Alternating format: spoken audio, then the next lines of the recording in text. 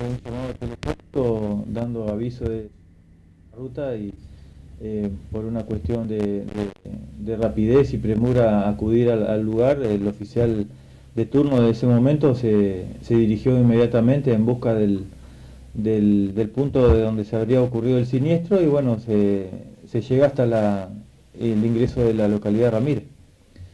Ahí cuando el personal policial de esta dependencia se acerca, ya había personal policial de la comisaría de Ramírez y donde ellos toman, digamos, directa intervención por una cuestión de jurisdicción y realizan todo lo que es la diligencia y comunicación a la Fiscalía interviniente de, la Jefatura Departamental Diamante. Por tratarse de gente oriunda de nuestra ciudad, ¿ustedes tuvieron que hacer algún, alguna participación? Sí, en este caso, bueno, en ese momento obviamente no se sabía la identidad de las personas y tampoco se sabía que estaban fallecidas. A, a las pocas horas de ocurrido el siniestro se toma conocimiento que eran dos personas oriundas de esta localidad y que lamentablemente habían fallecido en ese accidente.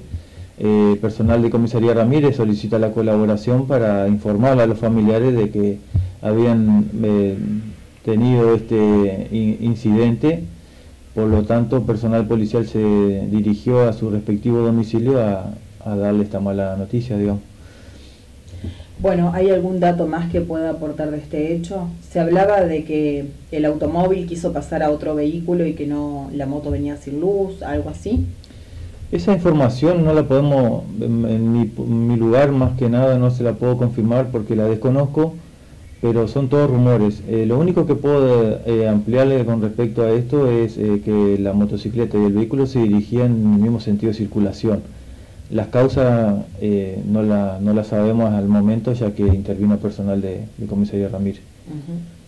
Bueno, eh, otro de los hechos que llamó la atención tiene que ver con esta mamá que denunció a una persona que aparentemente seguía a su pequeña.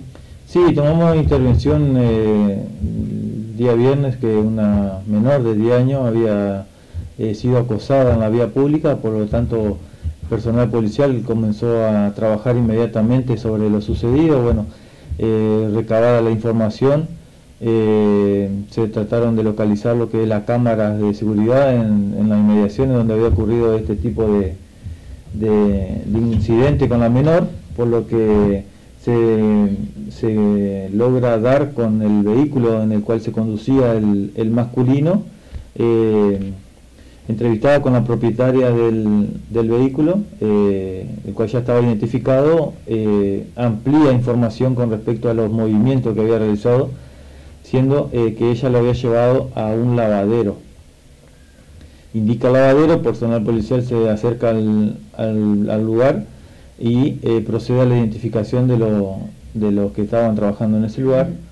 Eh, reunida las características del masculino, vestimenta y la fisonomía del mismo, eh, se establece el masculino la identidad y se le comunica al fiscal interviniente, en este caso el doctor Junta, el cual toma las medidas urgentes, eh, se lo notifica de las restricciones de acercamiento hacia la familia y hacia la menor, que había denunciado este este inconveniente y a su vez se lo citó para, bueno, justamente en el día de la fecha se haga presente en fiscalía a, dar los motivos por el cual realizó ese tipo de, de hecho, ¿no es cierto?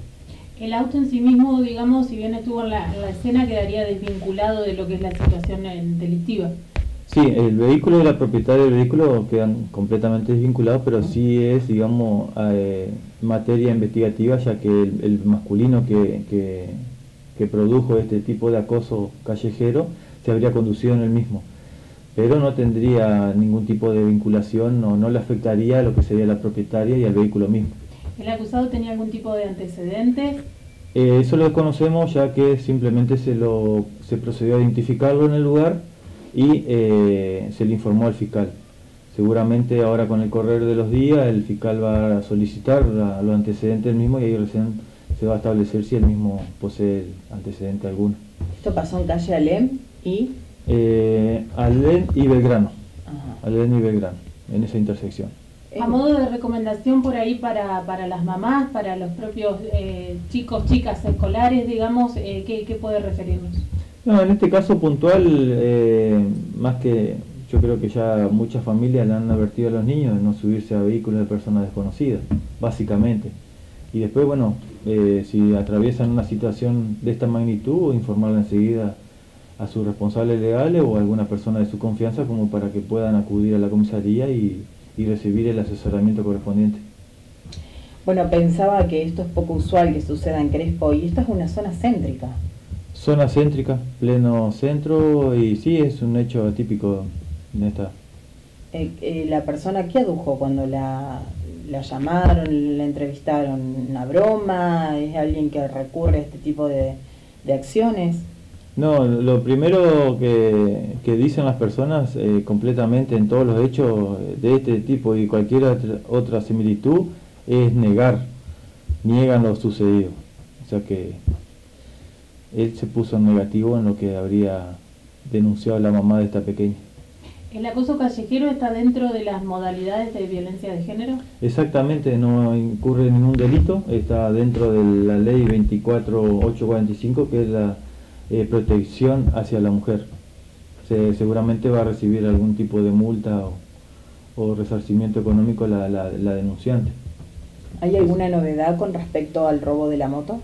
En ese sentido, de la última moto sustraída eh, se estuvo realizando tarea investigativa, se llegó a dos domicilios de, de, la localidad de Diamante, se realizaron en conjunto con la departamental Diamante de Policía del área de investigaciones en dos domicilios, lo mismo eh, al momento eh, fueron descartados la ubicación del, del motovehículo en ese lugar. ¿Tienen más hechos que quiera aprovechar a dar a conocer? Por el momento de hechos negativos no. Eh, tenemos lo que sería cuatro motos eh, retenidas el fin de semana en los operativos, en los operativos diarios que se van realizando en diferentes puntos y horarios. Y el fin de semana registró un total de 13 actas eh, notificadas a las personas por infracción al DNU. ¿Eso va a continuar? Por el momento sí, va a continuar de tal la prohibición de circular de las 02 horas hasta las 06 horas de todos los días. Muchas gracias por su tiempo. Bueno, gracias a ustedes, que Muy tengan buenas tardes.